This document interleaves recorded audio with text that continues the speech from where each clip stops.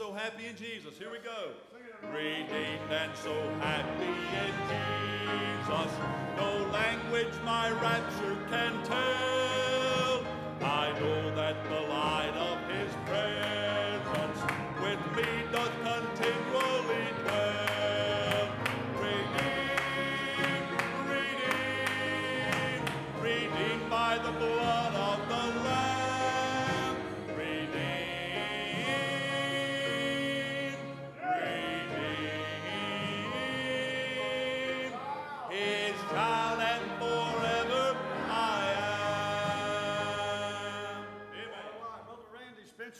up here if you will. I would like for you to have prayer with us tonight.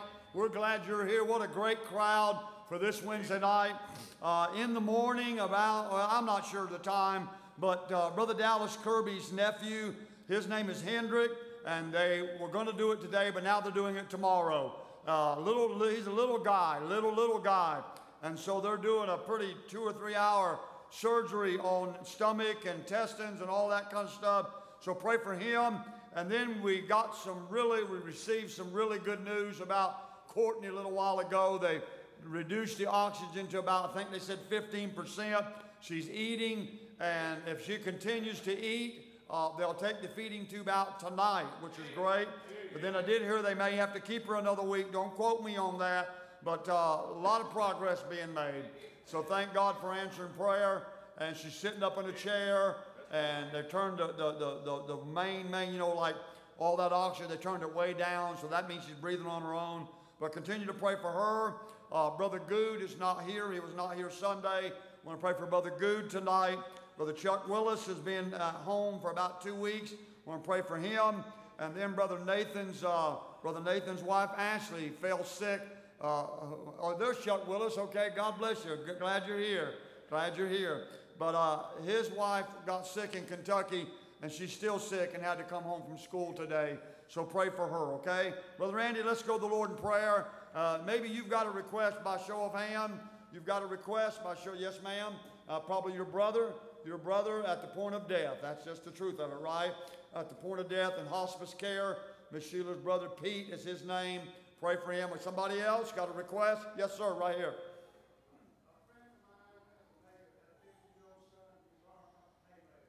My, my. Lord.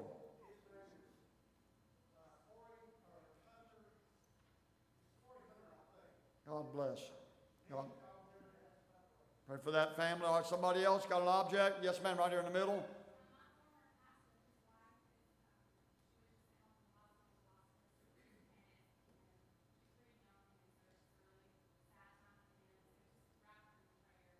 Yes, ma'am.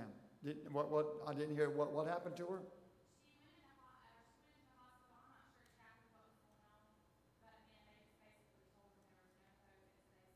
My goodness. I'm sorry. Mm. Yes, I'm sure. That former pastor's family. Somebody else? Somebody else? Uh, yes, ma'am, right here.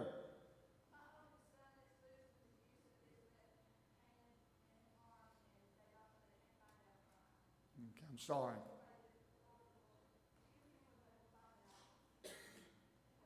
That's our old Miss Sandy Thompson's oldest son. Somebody else? Yes, ma'am. Brother Randy, Pastor Randy Phillips, all right? Still going through chemo and all that other stuff because of the cancer. Somebody else? Somebody else. Feel free to share. Good to see Preacher Jones with us tonight. All right, Brother Spencer, I don't expect you to remember all of these, but let's pray God to have his way in this service and in these that are uh, afflicted tonight. Brother Randy, please.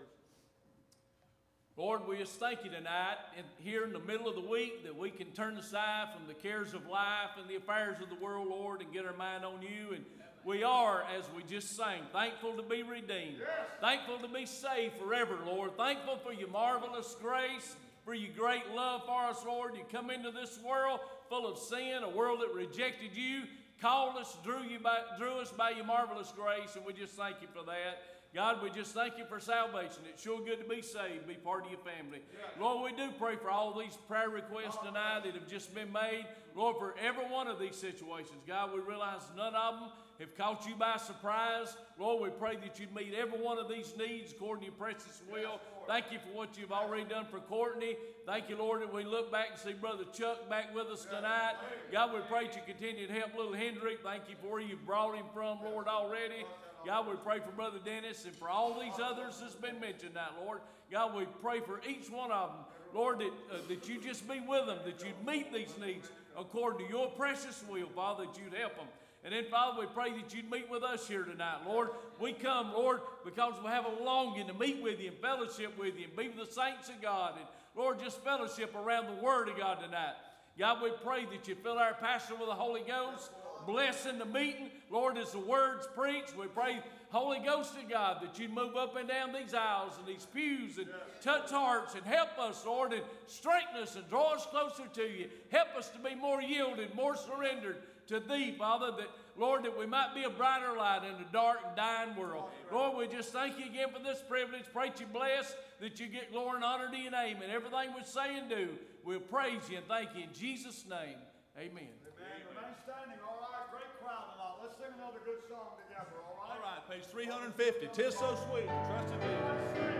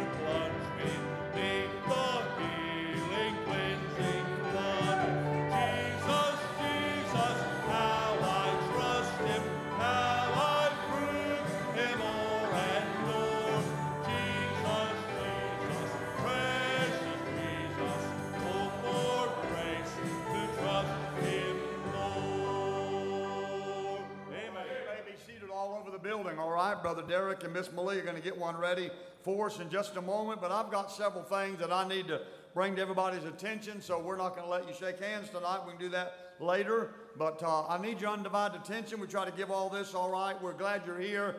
Great, great crowd. I talked to a preacher uh, today uh, in another city, and it might have been even another state, and told me, he said, Preacher, we hope that we'll have 25 or 30 tonight. And, and I said, That's okay. That's okay. That's wonderful. That's great. And a lot of churches are in that kind of shape. And that God's just surely been good to us here. He really has. And we do not need to take it for granted, all right? But anyway, if you're interested, here's the 10th annual After Thanksgiving Jubilee, Pilgrim's Way Baptist Church, Rutherfordton, North Carolina. Uh, Pastor Chad Watson, Chris, Curtis Ponder, Davy Shelton, Jeff Ledbetter, Stephen Aldridge, Ken Bowman, Travis Parker, Alan Kirk, other preachers call from the floor, the AG family singing. And so this is starting at 7 p.m., okay, the next two nights, all right? You can get this flyer. If you'd like to go, then uh, I know they'd be glad to have you. The uh, junior class uh, is a, has a fundraiser this Friday, December 3rd at 6 p.m. in the school cafeteria. Tickets can be purchased at the door the night of. The cost per ticket will be $3 for students, 5 for adults. Kids 3 and under will be free. Concessions will be provided. And they're going to do a Christmas themed movie night so you know it'll be clean. And so this is for the junior class. If you'd like to do something Friday night, hot dogs, popcorn, candy, Christmas cookies, hot chocolate, sweet tea, coffee, water, and the juniors hope to see you there, all right? Keep that in mind, okay? And then, uh, man, I got a lot of stuff up here. All the literature's in the Sunday school rooms, okay? If you need to get your quarterly or your teacher's quarterly, that's in the rooms. And then uh, this uh, Saturday night, uh, there's a youth Christmas party. Everybody's invited. What's the ages, Brother Nathan? 12 and up. All right, 12 and up. It starts at 5:30. That's the Christmas party. And uh, so uh, even if Ashley's sick, they're going ahead with it and they'll get some help. So uh, all the youth of the church, all of you, you're invited this Saturday at 5.30 in the fellowship hall, okay? All right, let me finish up here. The youth choir is singing December the 11th. That's next week, I believe, at White Plains Baptist Church. We need to keep that in mind. Please, youth choir singing December the 11th, okay? Keep that in mind. Now, uh, Miss Jenna Dover has been diligently getting addresses ready. A lot of you is doing your Christmas cards and all that for the church, and we've compiled. We haven't did a directory because we knew this would happen. See, like if we did one, it would have been outdated because new people just joined again. So, uh, but we've got we've got a list that goes back to about 19, and all the newer families and newer addresses. It's about three pages. If you like this, we're going to do a new one eh, right about the middle of January. We're going to shoot for the middle of January to get everybody on a brand new church directory. But in the meantime, if you're doing your Christmas card and you'd like all the new folks that's joined since about 19, all those, even the ones recently, the addresses should be here. And if we left anybody out, see Jenna Dover, all right? You stay here as long as you can after church, all right? So they can see you. If anybody got left out, we'll, we'll talk to her. But we got copies of this down front, and if you'll keep that in mind. Lastly, while they come on, y'all, you ready? Okay, y'all get ready. Uh, lastly, uh, we did this last year, or uh, the church did, or somebody did, but Tabernacle Children's Home is always a, a good Christmas project. I mean, it's always a good Christmas project. Uh, the pastor's Brother Joel Logan, great people over there, great people. I think last year we took a bunch of groceries. I know we did. Took a bunch of groceries. Well, this year, uh, the, the young couple Sunday school class is going to be taking up special monies, I think, for the next two weeks. Next two weeks. And so, uh, sir? This coming Sunday. So, if anybody else in this church would like to contribute to the Tabernacle Children's Home for a Christmas love offering, Christmas uh, blessing, Christmas uh, giving, and by the way, Christmas is about giving, amen. So, if you'd like to contribute, give it to Brother Randy or Miss Pam. I promise you can trust you with the money, and we'll get one big offering and get it to the Tabernacle Children's Home. And I, I know they do, all right? All right, that's enough announcements, and you got all this information, and we're anxious to preach in just a minute. But right now we have a song, all right? God bless you.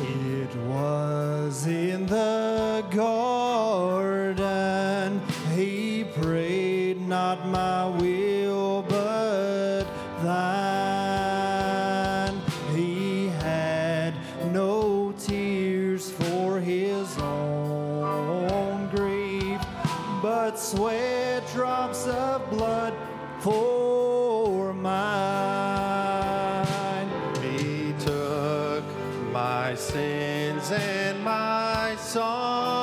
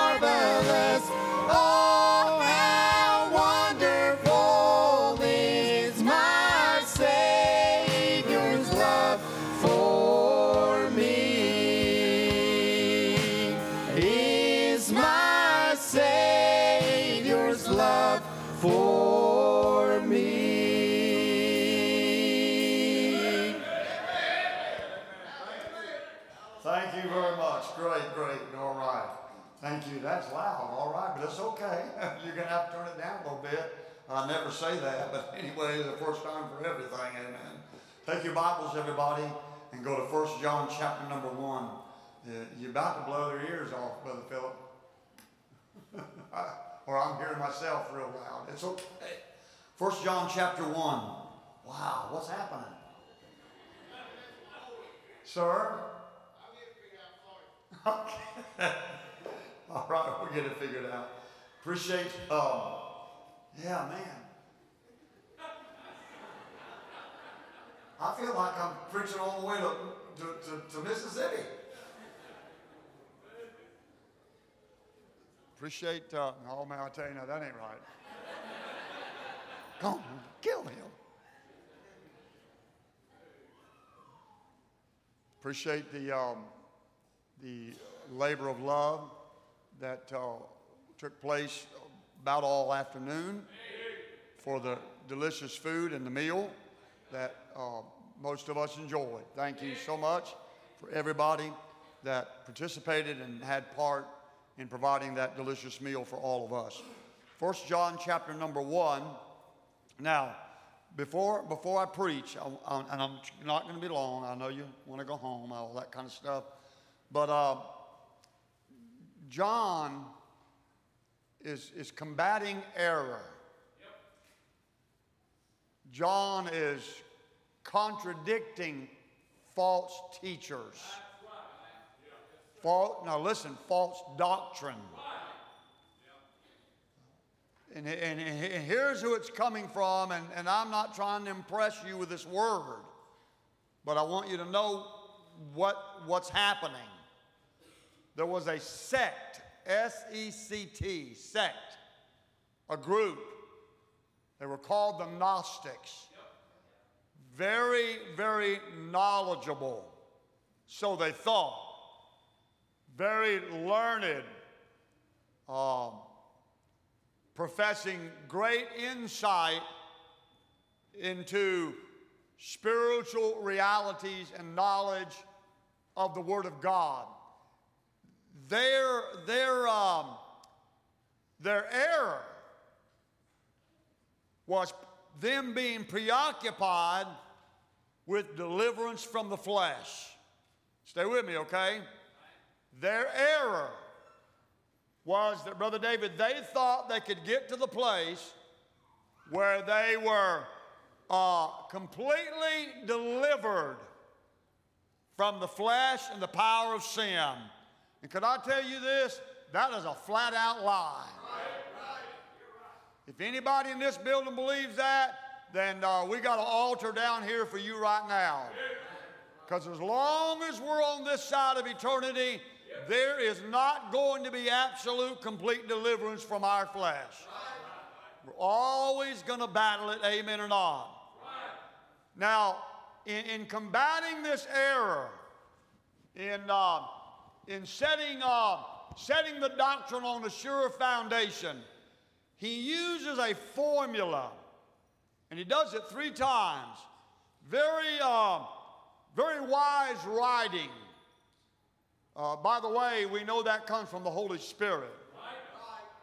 And we haven't said this in a while, but our Bible is inspired of God.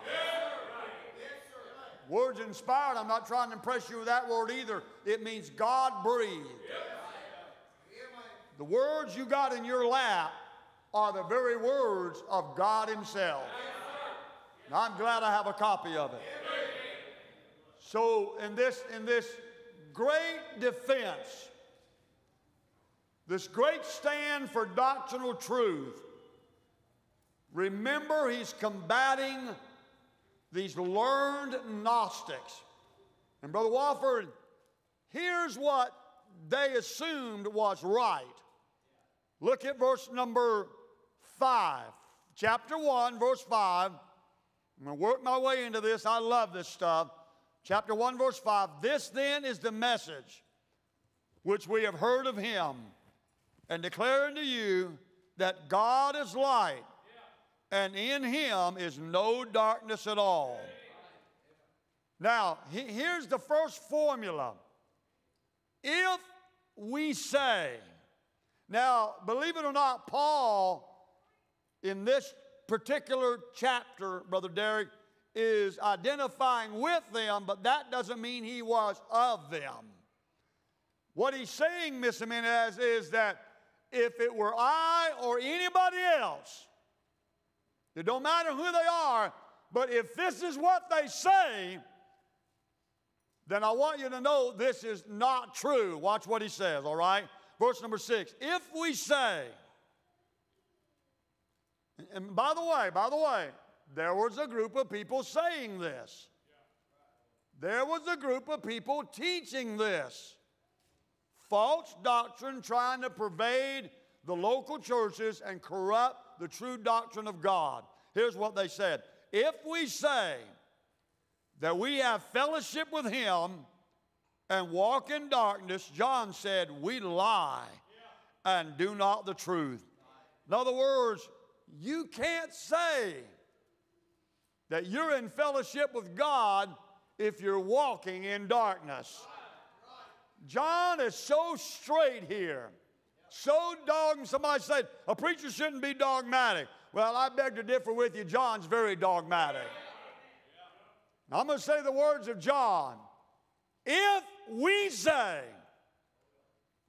that we have fellowship with God, but we walk in darkness, you know what we are? We lie.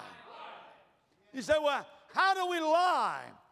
Because your life is not supporting what your lips are saying.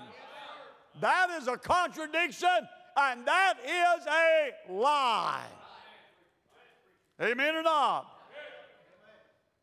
Verse number, oh, by the way, verse 6 and we do not the truth. Now he gives a, the contradiction to it. But if we walk in the light as he is in the light, we have fellowship one with another, and the blood of Jesus Christ, his Son, cleanses us from all sin. And all God's people ought to say, Hallelujah. In other words, Brother Jones, we don't have to walk in darkness. We don't have to walk in defilement. We don't have to walk in unconfessed sin. Thank God there's a remedy. Thank God there's an answer. Thank God there's a provision. And that provision, ladies and gentlemen, is the blood of Jesus Christ continually being pled before the mercy seat on high. And He is our advocate, He's our intercessor, He's our mediator. And if I will, well, I, am getting ahead of myself. Well, here's what I want to say. Don't, don't be like these people that were saying this. Don't be like that. There's a lot of people, well, a few, that claim to be in fellowship with God. They claim to be in communion with the Lord, but their life is filled with sin and darkness. Now, I'm going to tell you something, folks. That's a lie. Those people are not telling the truth. And it may not be verbally, it may be with their life. Now, that's the first one, if we say. Let, let, me, uh, let me tell you, let me break it down for you, all right? They, they are denying in this, in that particular verse, they are denying the seriousness of sin. And Paul indicates with a correction. And the correction is that don't deny the seriousness of sin because sin will break fellowship with God. Could I get an amen? Sin will break fellowship with God. But they were saying, they were saying, Miss Sheila, that you could be in fellowship with God and at the same time walk in darkness. Brother Randy, they were denying the seriousness of sin. Look at, look at verse number 8. Here's the second formula. Look at verse number 8. If we say, so apparently, Brother Jones, there was a crowd saying it. If we say that we have no sin, now this is your nature. This is your fallen nature, and this is where this crowd really was, Miss Jackie. If we say that we have no sin, we deceive ourselves, and the truth is not in us. Remember what I told you by way of introduction? They were enamored. They were caught up. They were, they were, they were propagating, amen. They were propagating that you could reach a place of deliverance from your flesh. But I tell you what, if we could reach a place of deliverance from our flesh, I'd be the first one in line. I said, I'd be the first one in line. I don't care if it's what state it was. I don't care what preacher's offering it. I don't care who's preaching it. If it's true, Brother Johnny, if it's true, sign me up. Amen. I said, sign me up. But the truth is, uh, you can't say that, and I can't say that, and your grandmother can't say that, and your grandfather can't say that, that we have not, that we have no sin. That's referring not to particular deeds. That is the fallen nature. That is the fleshly nature. That is the Adamic nature. And if I read my Bible correctly, that all men are born sinners. And we have inherited a fallen nature. I'm not getting no help up here. I said, we have inherited a fallen nature. I don't care how you want to whitewash it, what you want to call it, what you want to renegotiate it, what you might even be saying. If you stand up here or testify or tell your family that you have no sin and you deceive yourself and the truth is probably not in you. Amen? They, in this second formula, are denying human sinfulness. And so Paul states the corrective, and he says that sin does exist in our nature. It does exist in our nature. And as a matter of fact, we all have a fallen nature. Amen. We all, you say, well, um, oh, let, let me quote a verse if I can get it right. Yeah, help me, Lord. Psalm 51. Help me with If I mess it up, y'all help me. I think it's Psalm 51. Yeah, yeah. Verse 5. Behold, I was shapen in iniquity, and in sin did my mother conceive me. We are born with a sinful nature. Nothing, every little baby in this building, every little infant in this sanctuary, Miss Amber, every child at Mountain View Christian Academy, and every child in everybody's home, you may think they're angels. Uh, you may think they're the greatest thing that ever was since sliced bread. But I want to tell you something that sweet, darling little child that you have, that you love with all of your heart, that child has a fallen nature. Hey, hey, let me get it more plainer than that. That child has the nature of sin on the inside of them. And now listen, listen, they're not going to reach the age, they're not going to reach the age where they, uh, where they finally or gradually come in to the reality of a sin nature. No, no, no. They are born that way. They're born that way. Could I get a double amen? So there apparently, Miss Malia, apparently somebody was saying the wrong thing. Somebody was saying some stuff that didn't measure up with true doctrine. Here's what it said. Let's read verse 8 again. If we say that we have no sin, we deceive ourselves. Did you know the worst deception is self deception? The worst deception is self deception. And could you imagine? Let's just slow down a minute. I want, I want you to get this tonight. Could you imagine, Brother Galloway, somebody being so deceived with their own life that they would even say or even hint at or even suggest that they don't have a sin nature? Buddy, that's deception. Now, I'm going to tell you something else. That's not only self deception, I believe it's satanic deception. You say, well, what's the big deal? Because if you grow up all your life and you say you have no sin, then look at me, look at me. If you say you have no sin, guess what? You'll never need a Savior. So you know what it is? It's a trick of the devil to take people to a devil's hell. And that's what he wants to do to get people to grow up. Uh, Miss Crystal, believing that that that you know it's like it's like and, I just man, there's so many things going through my mind. It's like you know they interview people or they give their testimony and they say things like, "Well, I've always been a Christian," or "I was born a Christian." No, you were not born a Christian.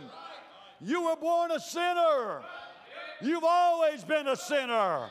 Well, I can't really remember a time. I just, I've just always known the Lord. Nope, nope, nope, nope, nope, nope. No, you have not always known the Lord. That's not true. If you hear it on TV, if you hear it on the radio, if you hear it out of this pulpit, hey, it's not true. It's not true. And I'm just going to tell y'all something. I get really leery of people that start talking that way. Well, I don't remember calling on him. And I'm not trying to make anybody doubt. I don't remember an experience. I don't remember professing him. I don't remember accepting him. I don't remember repenting. I don't remember realizing that I truly was a sinner. I, I just grew up in America. And so I just figured since I grew up in America, and America's a Christian nation, that's a, that's a no good, uh, then I must be a Christian. Nope, nope. You born in America, you're born a sinner. Can you imagine that there was a group of people that was trying to pervade the local assembly and teach that they could get to the place of eradication or not even eradication but elimination of a sin nature. But paul but john said john said time out. Time out. Y'all go stand in the corner. Let me tell you the truth. He says it three times. Verse let's read verse 8 again. If we say that we have no sin, I believe that's the fallen nature, we deceive ourselves and the truth is not in us. Look at verse 9. Look at verse 9. If we, I love this, God, I love this. I hope you'll love this.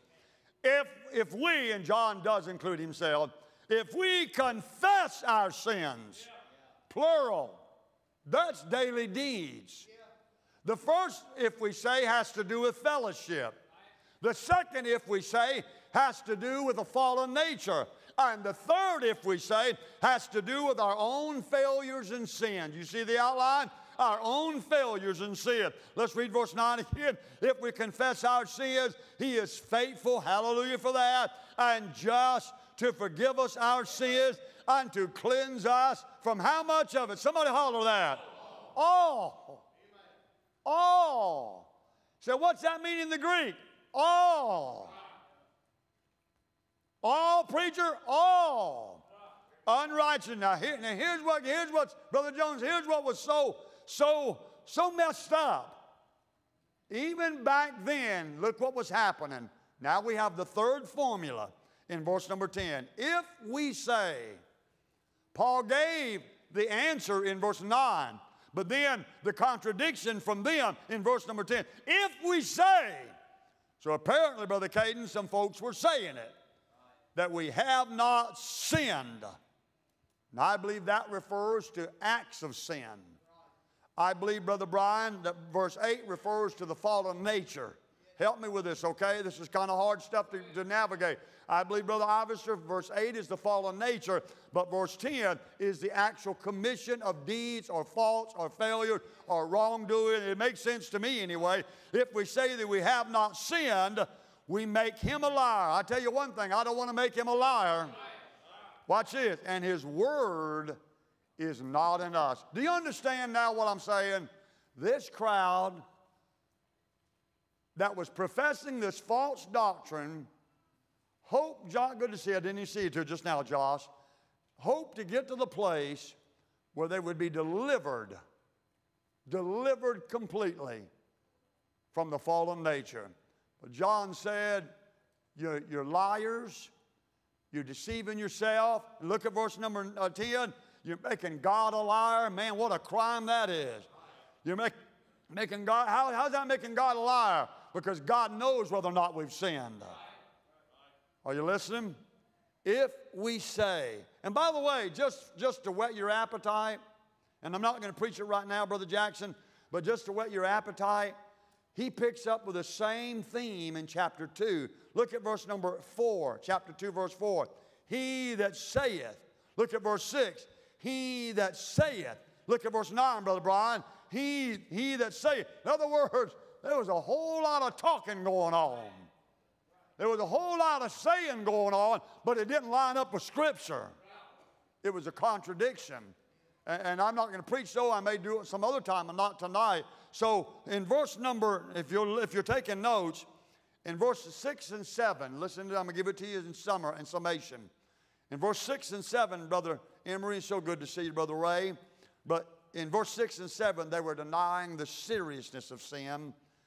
And Paul said, You can't deny the seriousness of sin because sin breaks fellowship. In verse 8 and 9, they were denying human sinfulness. Human sinfulness. And Paul says that you can't, you can't deny human sinfulness because, because sin, sin exists in our nature. Sin exists in our nature. The first one affects our fellowship. The second one affects the fact that we have a fallen nature. Could I get an amen? And it's the truth. And then the third one, they deny not only the seriousness of sin, they were denying the human sinfulness, but now, Brother David, uh, what, what, what arrogance, what, what, what getting off at the wrong track. They were denying having committed, yep. having committed any sinful deeds. But uh, throughout these verses, he says that, you know, sinful deeds show themselves in our conduct and in our failures. Folks, let me tell you something. And I want you to listen to me and I want you to, I want you to agree with it. We all sin. We all sin. Right or wrong. And I'm going to go a step further. I'm putting myself on a limb right here. But it may be accurate. It just may be accurate. We probably all sin every day. Every day. So I ain't done nothing wrong. I didn't say anything wrong. What about the things you neglected? What about the sins of omission? Hello? What about the sins of what about when the Holy Spirit prompted you to witness you didn't do it? That's sin. What about when the Holy Spirit prompted you to testify and you sat there? That's sin. You grieve the Holy Spirit. The truth is this we all sin. We all sin. We sin because we have a human nature. That human nature will never be eradicated. That human nature will never be killed. Hold on. That human nature will never get to the place, that human nature will never get to the place that you have absolute deliverance from your flesh. It, you'll never get there. You'll ne- by the way, we should strive for that, but you'll never get there. Here's what I want to say tonight, though, in spite of all of it. In spite of all of it, Brother John Cudd, I appreciate verse 9. I appreciate verse 9. You ought to appreciate verse 9. If we confess our sins, confess, what does that mean? To agree with God about it. Stop making excuses. Stop comparing yourself. Stop saying stupid stuff like everybody else is doing it. It don't matter if everybody else is doing it. If it's sin, it's sin. And by the way, I'll tell you this if it was sin in your life a year ago, it's probably still a sin in your life tonight. I'm so tired of people making excuses.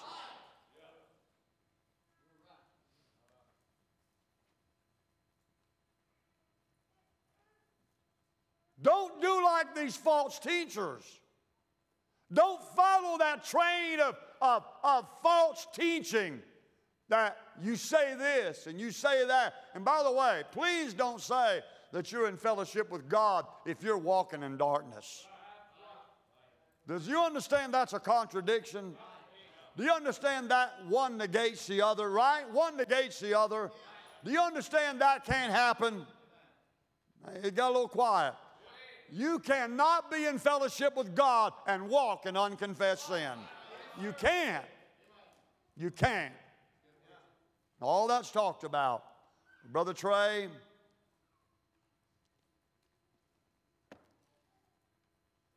I don't know how many times through my life, through since I was 16, and I hope you don't fault me for this, but Brother Kevin, I don't know how many times I've started prayer with this right here. Lord, you said if we confess our sins, you're faithful and just to forgive us our sins and to cleanse us from all unrighteousness. And I'm so glad, thank God, He, he is faithful and He is just. And I'm so glad He forgives. Hey, aren't you glad you don't have to let sin stay in you? I said, aren't you glad there's a provision? Aren't you glad, thank God, this is shouting ground? Aren't you glad there's a remedy? Aren't you glad God has an answer? And by the way, the answer is found in verse 7. But if we walk in the light as He is in the light, we have fellowship one with another. And what is it, preacher? And the blood, the blood of Jesus Christ, His Son, cleanses us from all sin. You know what's going on at the right hand of the Father? The advocate is pleading His blood. The advocate is presenting his blood. The advocate is saying, Father, I've shed, by the way, all your sins were future. All your sins were future. And thank God for an advocate. Thank God for a go between. Thank God for a lawyer. Let me drop Proverbs 28 13 on you. He that covereth the sin shall not prosper, but whoso confesseth and forsaketh it shall have mercy the best thing you could ever do, the greatest thing you could ever do, the most spiritual thing that you could ever do is to confess and forsake your sin. Confess and forsake it. All that's in this chapter. That's the remedy. That's the answer. The answer, and I'm going to give it to you again the answer is not for us to deny the seriousness of sin.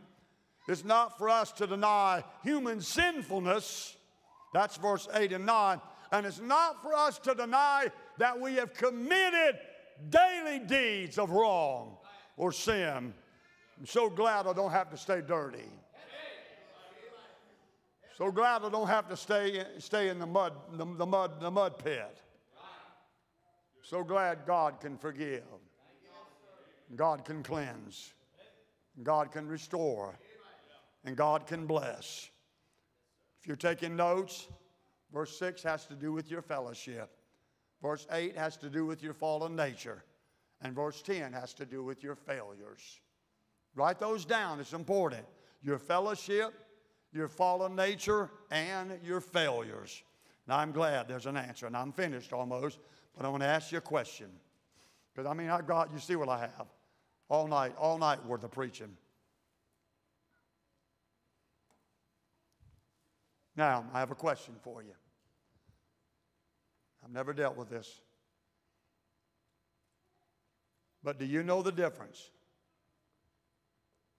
Do you know the difference between Holy Spirit conviction and satanic accusation?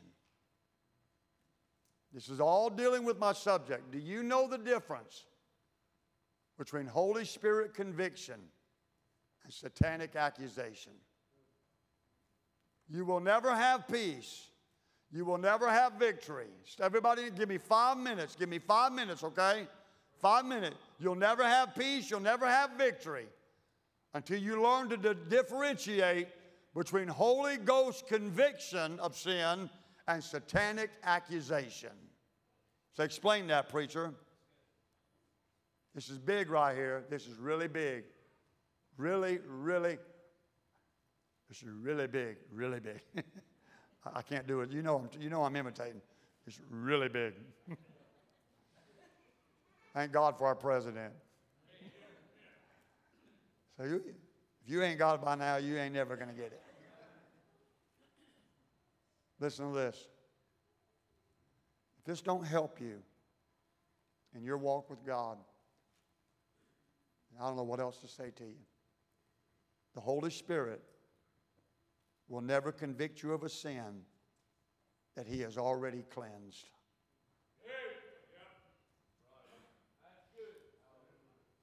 Let it sink in like a spring rain. The Holy Spirit will never convict you of a sin that He has already cleansed. Stay with me. God will never accuse you of any sin that He has already placed under the blood of His Son, Jesus Christ. God would not be just if those cleansed sins were brought back before you. I said, God would not be just if those cleansed, forsaken, repented of sin were brought back before you. Why would God do, do you that way? Why would God do that? All right, you sin. I sin. We don't stay with it. We don't keep it. We don't, hey, watch this. We don't go on in it. What do we do? What do we do? We confess and we forsake. We turn, repent, and we leave it alone. Say amen. That's what we're supposed to do. All right? Can I ask you a question? If you confessed, agreed with God about it, if you forsook it, if you got it under the blood, 1 John 1 7, then I'm asking you a question. Why would God keep bringing it up? Why would God require double jeopardy of you? So, guess what? That's not God. I'm helping somebody. That's not God. That's satanic accusation to beat you down, to defeat you, to hinder you, to hurt you, to rob you of your joy, to rob you of victory. Here's what I'm telling you tonight there is a difference. I'm telling you now, there is a difference between Holy Spirit conviction and satanic accusation. And you need to learn to differentiate between the two. I believe the Holy Spirit will convict you quickly. I believe the Holy Spirit will convict you personally. I believe the Holy Spirit will convict you uh, informatively. What do you mean? He'll let you know, hey, that's sin. And thank God, Miss, Miss, Miss Christian, when He does, we say, Lord, I'm sorry. Lord, I want that out of my mind. I want that out of my life. I, I don't want to do that ever again. I want, to, I want that under the blood. Lord, I, I confess it. I forsake it. I leave it alone. And guess what? God forgives. How much, y'all help me right here. How much does God forgive of? All. All unrighteousness. All sin. Then why do you spend the next uh, three months telling God that you, want you, that you want Him to forgive you again? He already forgave you the first time. Stay with me, okay? I want to help you. He already forgave you the first time because He brought Holy Ghost conviction. So, what do you think it is, Brother Nathan, that bombards our minds, that torments our soul, that weighs heavy on our spirit? That's not Holy Ghost conviction. It's already under the blood. Am I preaching the truth? It's already under the blood. And by the way, the only way to get under the blood is confess and forsake. Confess and forsake. You get it under the blood. So then you just keep on and you keep on and you keep on and you keep on. And every time you start your prayer, you tell God you're sorry. And every time you come to church, you tell God you're sorry. And every, every day of your life, you're still confessing the same sin. Why? This isn't Catholicism, friend. This isn't Catholicism. Why do we feel like we have to confess the same sin over and over and over when God said, I'll forgive you if you confess and forsake? I'm going to tell you what's going on. It's not Holy Ghost conviction. Brother Jones, I believe it's satanic accusation. Yes, you say, well, do you have any scripture for that? Well, you know the, you know the Bible. You know what the Bible says about the, the enemy of our soul. He's called what? Y'all help me. What, what's he called? The, somebody just said it. The what? the accuser of the brethren. The brethren. He loves to accuse you. He loves to beat you down. He loves to remind you what you did. He loves to bring it back up. He loves to make you feel bad about it. He loves to hurt you spiritually, mentally, emotionally, by, and wound. He loves to wound you by bringing it back up over and over and over. Hey, hey, that's not Holy Ghost conviction. If you'll remember when the Holy Ghost conviction came, you confessed and you forsook it. So then what is it? It's satanic accusation. If you have confessed your sins to Jesus, I'm almost finished. If you have confessed your sins to Jesus and forsook, forsaken and, and you've forsaken those sins, yet they keep coming back to mind, it is the devil that is accusing you, and it is not the Holy Spirit. When God cleanses us of sin, He forgets it. He said, I will forgive their sin, will remember their iniquity no more. The Bible said that He's cast our sins behind our back. As far as the east is from the west, He's removed our transgression. Are you listening? You need to differentiate between Holy Ghost conviction and satanic accusation. You will never become the victorious Christian that God wants you to be until you know how God convicts of sin. How does He convict of sin? I believe He does it immediately. I believe He does it personally. I believe he doesn't wait five months. He doesn't wait three years. He doesn't wait one year. I believe in the child of God's life that's wanting to do right. You sin, Holy Ghost convicts you. Holy Ghost gives you all kinds of uneasiness. And thank God we can get right. Thank God we can get right. A month later, a month later, a month later, he's beat you down with it over and over. And here, you know, watch me and you start confessing it. You just did that a month ago. Did he or did he not forgive you a month ago? Is he calling double jeopardy on you? What, what are you doing? What are you doing? Did he forgive you a month ago or did he not? He did. He did. So, guess what's going on? Devil's hot on your trail, trying to beat you down trying to remind you. The Holy Spirit, here I'm finished. The Holy Spirit convicts us. The devil accuses us. The Holy Spirit convicts us. The devil accuses us. Learn to differentiate, and you'll be victorious in your walk with God. Listen, you have 1 John 1 7. You have 1 John 1 9. You have Proverbs 28 13. You've got First John. What about chapter 2? I didn't even preach it. My little children, these things write unto you that you sin not. Yet if any man sin, we have an advocate with the Father. Jesus Christ, the, the, and He is the propitiation for our sins, and not for our sins, but also for the sins of the whole world. This, this chapter is just full of God's remedy. God's remedy. Now, let's bow our head. Let's close our eyes. Let's come to the instrument please. I want us to come to the instrument. Instruments, please. Thank you for listening, everybody. Heads are bowed and eyes are closed. We're not going to ask for a show of hands, but I am going to ask you tonight as you survey your heart and mind, as, as you sit in this beautiful sanctuary on this beautiful Wednesday night, great crowd in church, as you sit among your fellow believers, do you have any unconfessed sin in you? If you do, if you do, you let the Holy Spirit speak to you right now. You confess it, you forsake it, and you leave it alone. You get away from it. You get it out of your heart, you get it out of your mind, and you go forward. Heavenly Father, help every one of us, Lord. Thank you for the remedy. We sure we don't want to be like those Gnostics. They denied everything. And we know that we're not going to ever reach the place where, where we are delivered from the flesh. We know that. We're not even thinking about that. God, let us be victorious Christians, please.